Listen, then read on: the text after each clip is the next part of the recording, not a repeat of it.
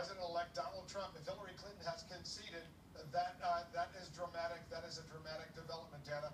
Uh, and to hear the words President-elect, we haven't yet projected that, but Hillary Clinton, uh, what you're saying, has now made a formal telephone call to Donald Trump to concede. Is that right?